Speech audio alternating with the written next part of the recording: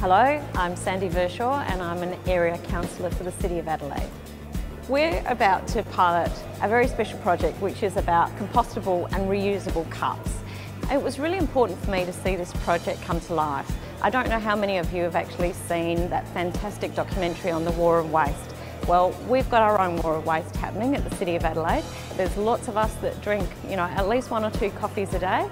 And just by making a really small change to your everyday um, use of coffee cups, reusable, compostable, you'll make an extraordinary difference to what happens with the waste streams in our city.